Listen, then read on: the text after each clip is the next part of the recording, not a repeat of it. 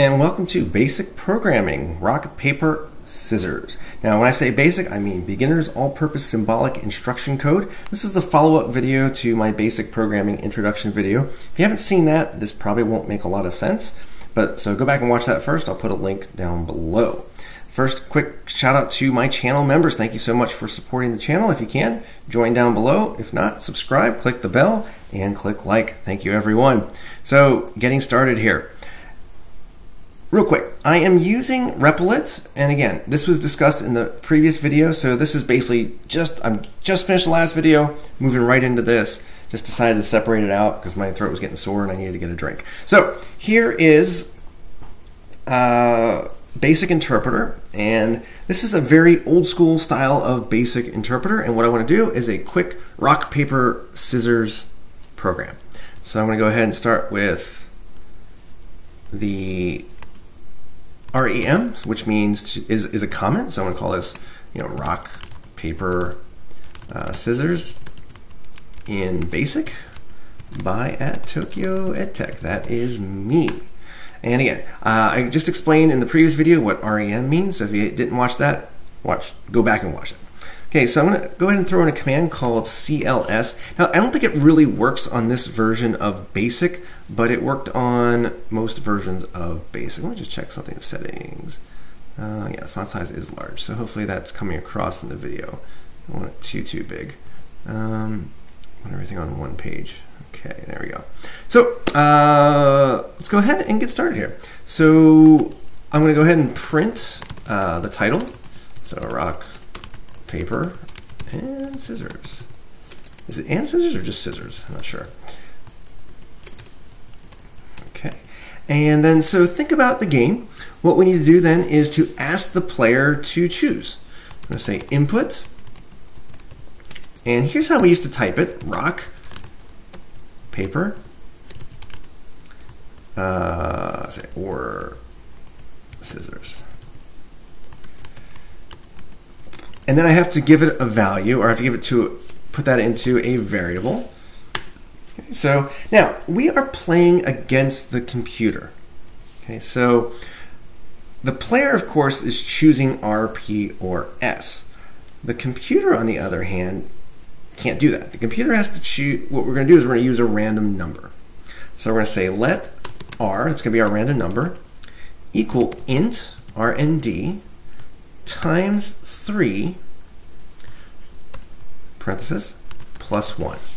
What that will do is it will give us a random number from 1 to 3. Or it would be 0 to 2 without the plus 1, but I think I find it easier with 1, 2, and 3. So this returns a random number from 0 to 0 0.99999. And then we multiply that by 3 int will take off the decimal part of that, so that'll give us either 0, 1, or 2, and then we just add 1 to give us 1, 2, or 3. Okay? So then we just need some if statements. So if r equals 1, notice that's one equal sign, because we're in BASIC, not Python, then I'm going to call this computer equals r. Okay, if r equals 2, then computer equals p. And if r equals 3, then computer equals s. Now, for the record, I didn't have to convert this to RP or S. That was really just a convenience for the, the coding that we're going to do later. Ooh, what did I forget? Line numbers.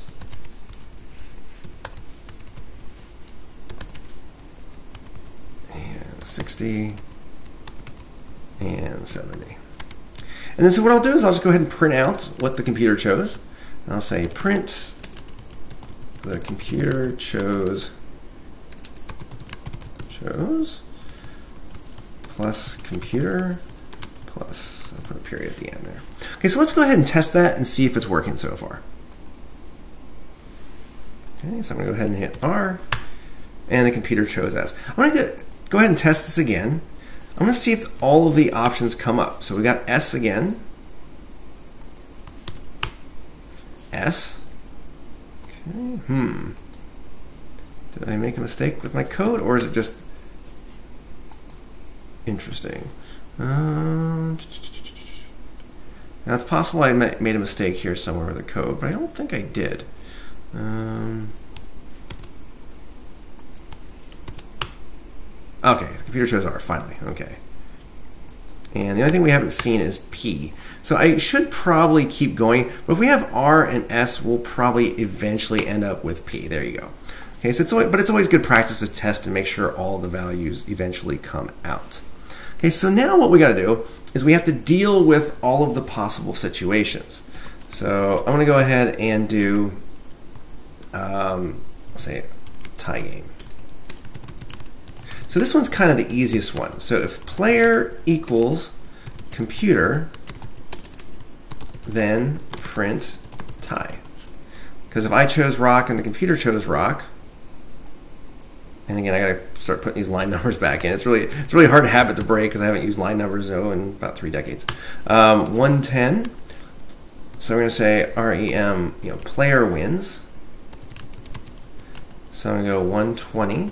So if player equals rock and computer equals rock beats scissors, then uh, print player wins. The other way the player can win, if player equals scissors and computer equals paper, then print player wins. And sorry, there's actually one more. If player equals, missed the quotation mark there. I'm not sure why the syntax highlighting is not working. It's really annoying. Uh, rock, scissors, and paper and computer equals rock, then print player wins. Okay. And then now we want to do the same thing for the if the computer wins. So 140 uh, REM computer wins. Okay, so 150. So if uh, computer equals R, and player equals scissors. Then print computer wins. 160 if computer uh, computer equals scissors. I should have done rock, paper, scissors in order, but and player equals paper. Then, so like I said, just going through each option one at a time. Then print computer wins. I did spell computer wrong there.